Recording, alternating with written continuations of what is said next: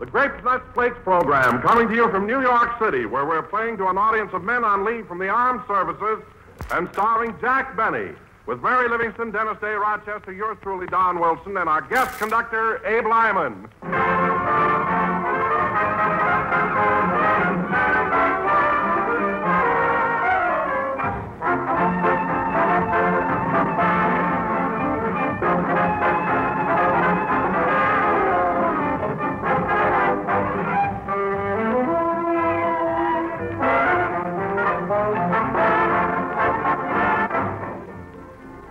Met a woman today who has three sons on three different work shifts. Boy, does that big 12 ounce package of delicious toasty brown grape nuts flakes get a workout at her house, with breakfast time rolling around three times a day. Yes, these days, breakfast may come at odd hours, but whenever it comes time for breakfast, it means time for crisp, toasty grape nuts flakes. A breakfast of malty rich, well tasting all around nourishment. Because grape nuts flakes are a whole grain cereal. Now, whole grain cereals are not only health builders, they're whole grain because they bring you the important food essentials, vital food factors you need, including iron and two of the health building B vitamins, niacin and B1. So get set for the breakfast shift with delicious, nourishing grape nuts flakes.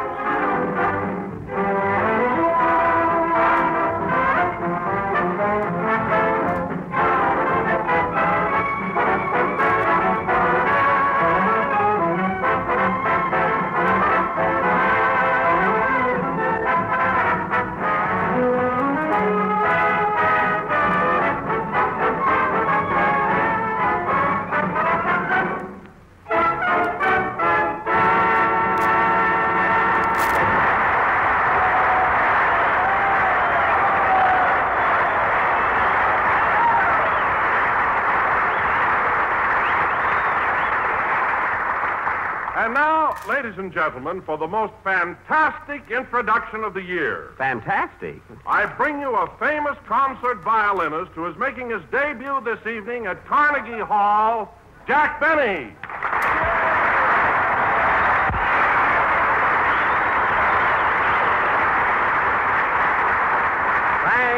Thank you, thank you. Hello again. This is Jack Yasha Benny talking. and folks, I'm as nervous as a pizzicato. and Don, that's the truth. I am playing my violin at Carnegie Hall tonight. But, Jack, it's so fantastic. Will you stop saying that?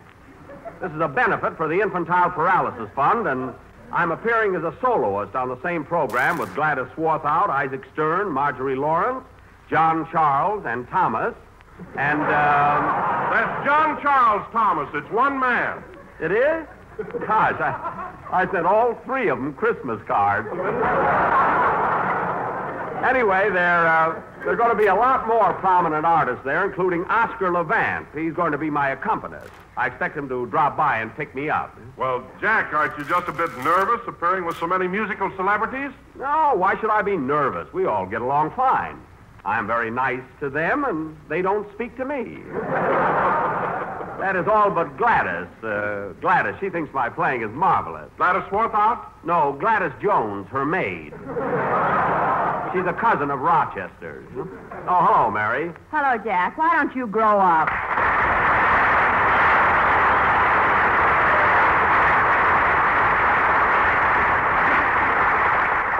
Mary, what do you mean, why don't I grow up? Well, I passed Carnegie Hall just now, and what's the idea of writing your name on all the posters? I didn't write my name, it's printed. You know, I'm uh, making my debut there tonight. Gee whiz. Just think, my first appearance on the concert stage. Gosh. Too bad my old violin teacher can't be there. Too bad he shot himself during your fifth lesson. Yeah, I'll never forget that afternoon. I was right in the middle of da da da da dee da dee da dee da da da da, and bang. and I had five more lessons coming. By the way, Mary, you're attending the concert tonight, aren't you? Uh, who else is appearing? Well, there's Gladys Jones, I mean Swarthout, Isaac Stern, John Charles Thomas. John Charles Thomas. Yeah. You know, Jack, that always sounds funny to me, a man with three first names. Yep, John Charles Thomas. Incidentally, it's not commonly known, but I have three first names, too. That's right, Jack Jerk Benny.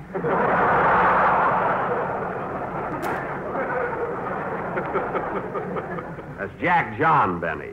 And speaking of unusual names, oh, say, Don, Yes, Jack. uh, come here a minute. This'll kill you. What do you think? This'll positively amaze you, but it's the truth, you know. What do you think Fred Allen's middle name is? What? Florence.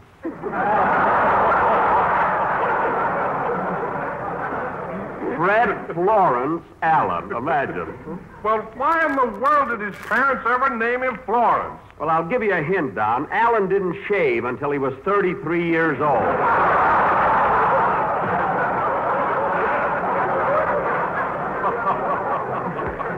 In fact, he, he still wears his garters above his knees.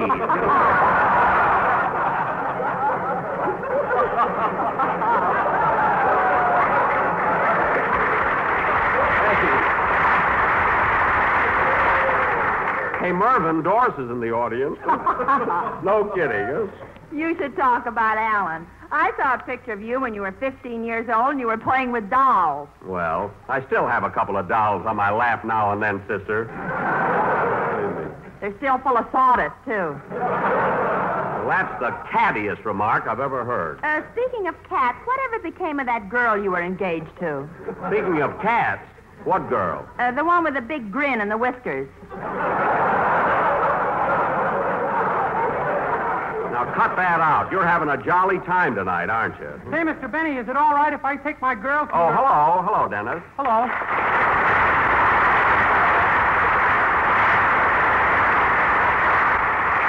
Uh, what did you want, kid? I said, is it all right if I take my girl to your concert at Carnegie Hall? Well, sure, Dennis. Is she a music lover? Is she? She's got a short thumb from pushing nickels in jukeboxes. Well, she. well, she. She does like music. Uh, where does your girlfriend live, Dennis? If I knew where she lived, I wouldn't be wasting my time at a concert. Well, you'll enjoy it, Dennis. There are a lot of great artists on the program. There's uh, Jan Peerce, uh, Ezio Pinza, Joseph and Rosina Lhévinne, Deems Taylor. Yeah, and don't forget John Charles and Thomas. Uh, wait a minute. I, I made that same mistake. It's John Charles Thomas, Dennis. Holy smoke, has he got four names? Dennis is you. Oh.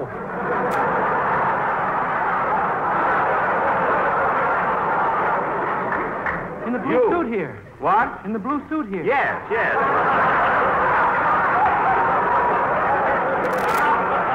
well, kid. oh, brother.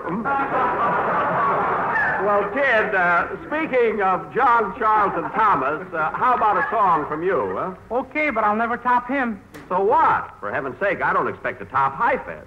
Aw, Jack, you're just being modest. You're as good as Heifetz any day. What? You don't think they'd let you play in Carnegie Hall unless you were one of the world's greatest violinists. Well, that's a lovely compliment. Thanks, Mary. You're welcome, it also says here.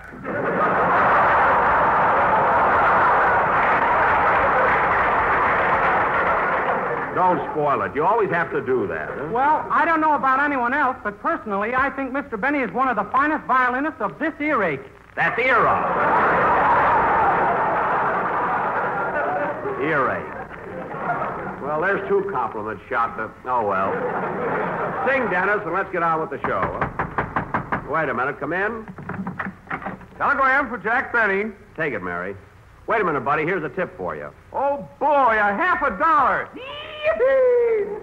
Hmm. No use waiting. I got to get new glasses.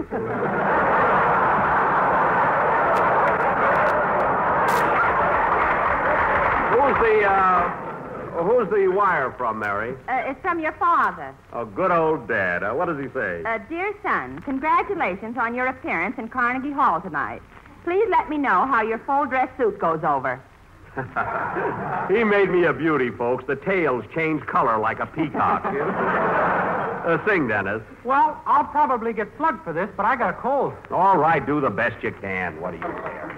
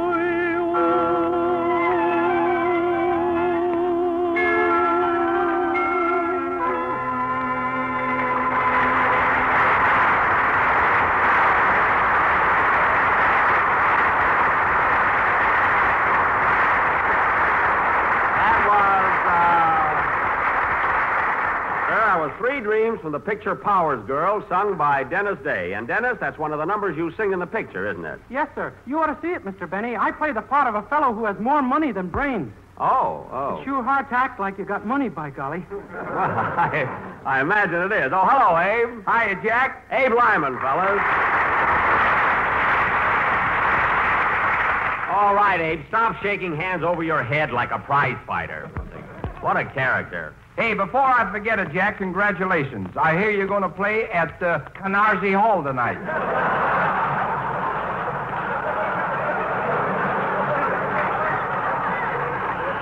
No use talking. Phil Harris is a genius, really. That's Carnegie Hall on 57th Street. By the way, are you coming to the concert? I'd like to, Jack, but that highbrow music gives me a rash.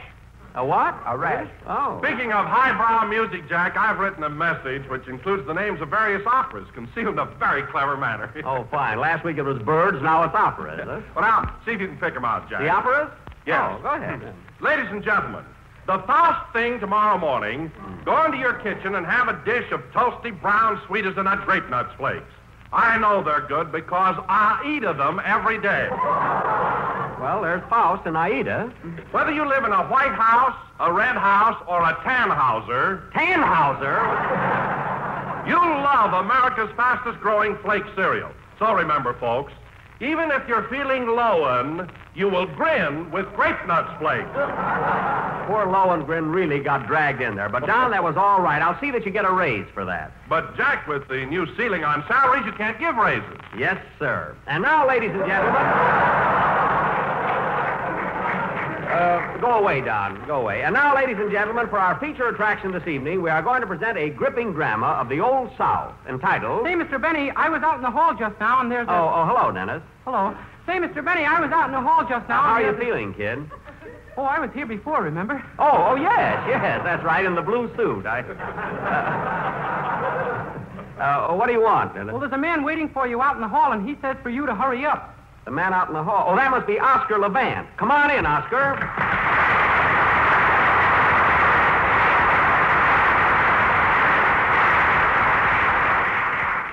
Hello, Jack. Are you all ready? Yes, I'm ready to go. Well, Oscar, I see you're prepared to accompany me on the piano tonight. Do you always wear those white gloves? These are my hands. I just came from the blood bank. Oh. Very good. I'll have to watch out for this guy. He's sharper than a buck tooth. uh, I'll be through here in a few minutes, Oscar. Then we'll hop in a cab and go over to Carnegie Hall. Just think, Benny and Levant playing a duet. Let's walk. Maybe we'll get run over before we get there.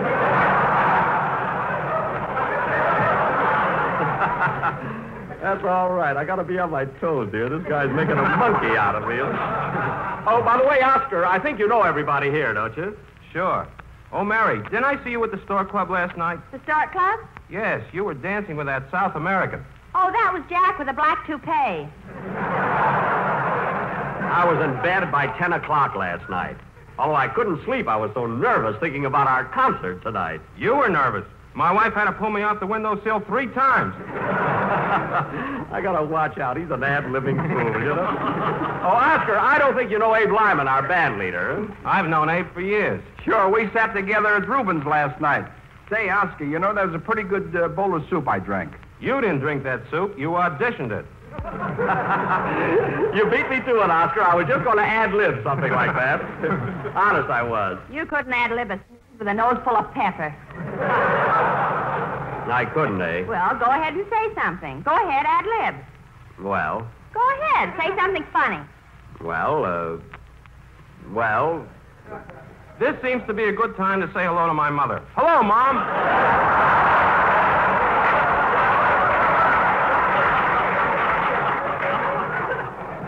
well, I could say something funny, but how can I think with that darn Dennis Day standing there staring at me? Well, that sweat rolling down your forehead fascinates me.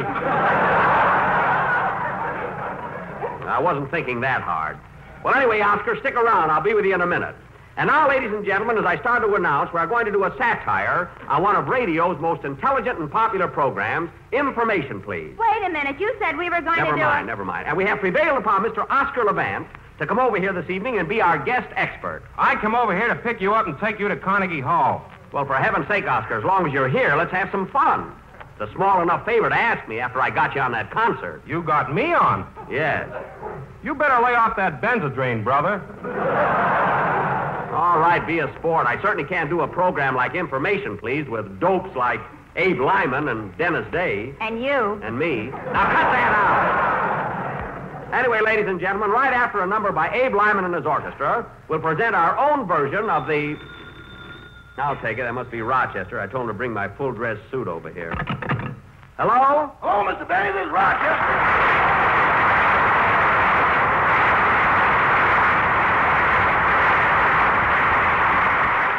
Yes, Rochester. I'm just leaving the hotel, boss. I've got your top hat, white tie, and tail.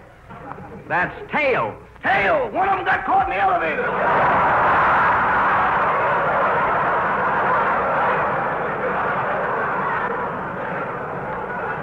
Oh, my goodness. Well, I'll, I'll certainly look funny playing my violin in Carnegie Hall with one tail. You might as well face it, boss. You're going to look funny anyway. Well, that's one of the most careless things I ever heard. I guess I'll have to wear my tuxedo. Your tuxedo. Yes. Did you press it like I told you to? Well, I pressed the coat all right, but I had a long phone call during the pants. Oh, so you left the hot iron on my pants. Where'd you burn them? I think the French word is derriere.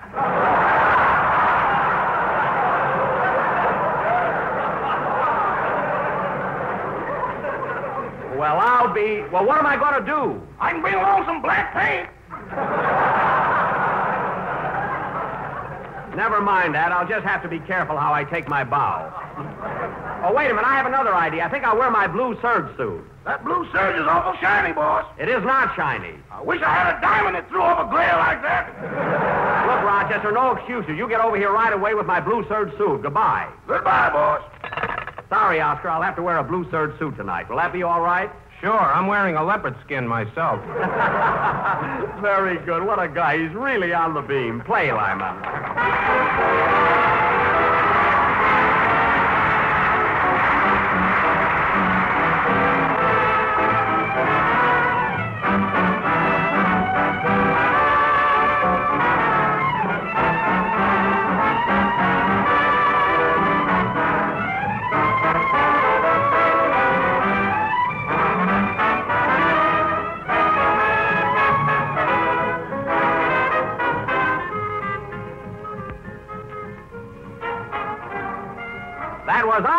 Give You Anything But Love. Sorry, Abe, we had to cut this kind of short, but that was I Can't Give You Anything But Love, played by Abe Lyman and his Hotel Lincoln Orchestra. Hey, that's a good one. Abe at the Lincoln. I don't get it. Who asked you to? Be thankful you got a plug. And now, Don, I think it's about time for, uh. Now, who's that? Come in. Yes, sir? Is this the Jack Benny program? I'm supposed to be in your play tonight. Oh, yes, you were going to be the villain. Uh, what's your name? Joe Besser. Messer? No, Besser!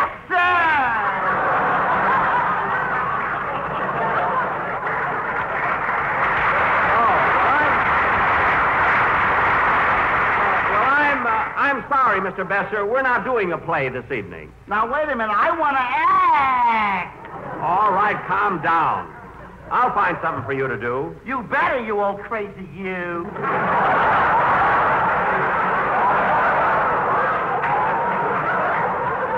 Sit down, please. All right, Don, let's get started. And now, folks, we bring you our version of Information Please with our noted raconteur, lecturer, and book reviewer of the Breeders' Gazette, Clifton Bennyman. Thank you. Thank you, Milton Wilson. And now, ladies and gentlemen, I'm sure you all know the rules of information, please. I will read several questions submitted by our listeners. And for each question which is not answered by our board of experts, we will give away a page from the Encyclopedia Britannica and one grape nut flake. Are the grape nut flakes here, Mr. Wilson? Yes, sir, the register's loaded. Good. Now, I'd like to have you meet our board of experts. First, Mr. Oscar Levant, noted pianist. Or pianist. Which is it, Oscar? Pianist or pianist? What's the difference? After tonight, I may be washed up. I gotta watch this guy. He's dynamite. Huh? and next, Miss Mary Livingstone, well-known authority on poetry. Have you a sample for us, Miss Livingstone? Twinkle, twinkle, little star, how I wonder what you are. Shining up above so high, don't you know there's a dim out? Very, very good. And now, Mr. Abe Lyman, noted authority on Shakespeare and literary light. There's a dim out there, too. You said it. Mr. Dennis Day, world-famous authority on. On what? And last but not least, sit down, Dennis. Sit down. Mr. Joe Besser, authority on archaeology, ichthyology, and paleontology. Well, get him! And now, folks, we will proceed. You old crazy you.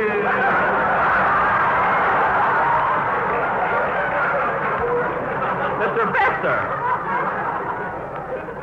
We will proceed with information, please. Our, ah. Our first question comes from Miss Bernice Butterball of Baked Potato, Idaho. Miss Butterball wants to know if you can name three presidents of the United States whose names begin with W. Well, I see you have your hand raised, Mr. Day. That's nerves. It just blew up.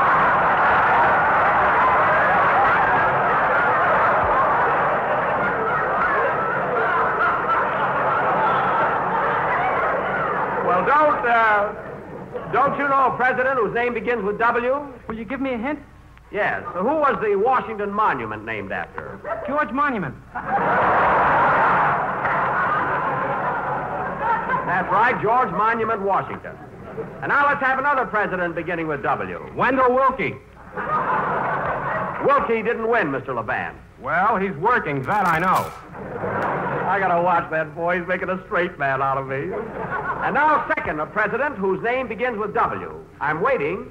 Ah, Mr. Besser, I see you have your hand up. Oh, it's not for that.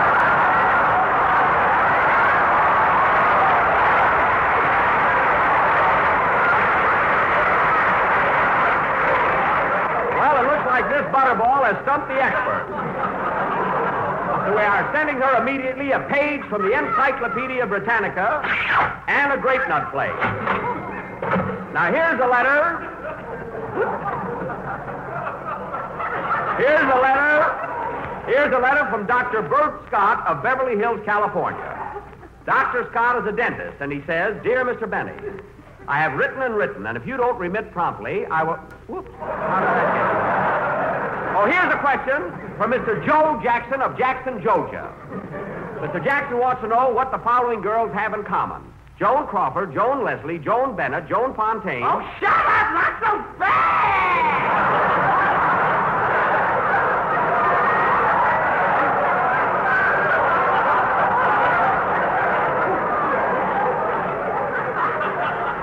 Oh, pardon me. You should know this, Miss Livingstone. What have the following movie stars in common?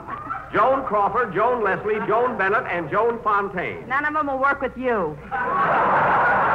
That's so. Well, thanks to your levity, Miss Livingstone, we have lost another page from the encyclopedia and a grape nut flake. Now, here, here's a question in your field, Mr. Levant. Incidentally, you haven't gotten anything tonight. You're referring to money, of course. I'm referring to answers. Now, I'm going to play a musical selection, and I want you to identify the number. A second.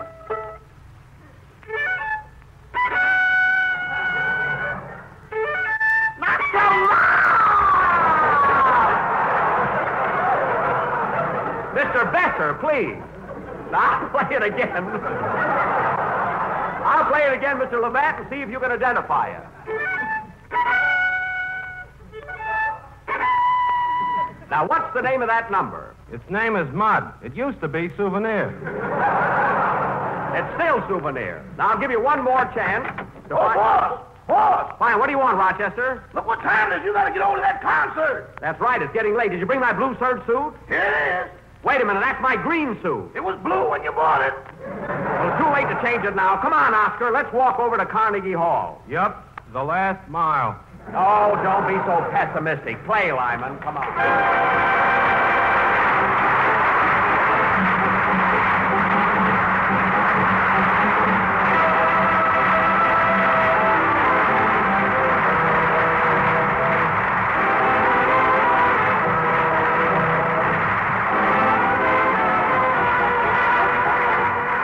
You know, many a proud parent gets a mighty shock when a youngster shoots up overnight. Mom sees little Tommy playing with his blocks, and then, first thing you know, Tommy's curls are gone, and behold, he's a man. Well, not so long ago, Grape Nuts Flakes was just a little shaver, and now, why, just in the past three years, the increase in your purchase of Grape Nuts Flakes has been more than that of all the other ready to eat cereals put together. And there's a reason. In fact, two big reasons. First, it's that sweet as a nut, malty rich flavor. And it's that grand all around nourishment. For Grape Nuts Flakes, being a whole grain cereal, bring you vital food factors of natural whole wheat. That means they're one of the eight types of basic foods recommended as part of your daily diet by our National Nutrition Program. So join the swing to better breakfast by asking for delicious, nutritious Grape Nuts Flakes, America's fastest growing breakfast cereal.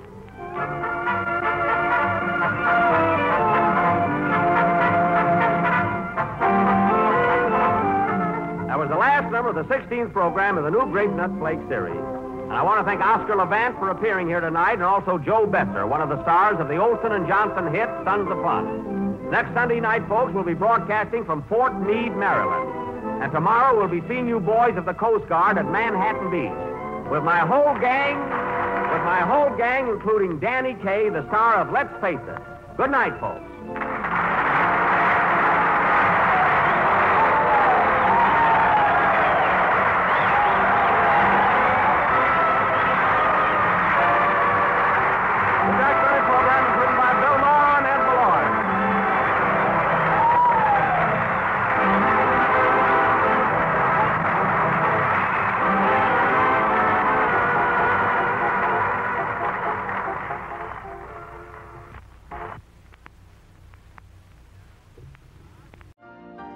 You've been listening to the OTR Gold Network.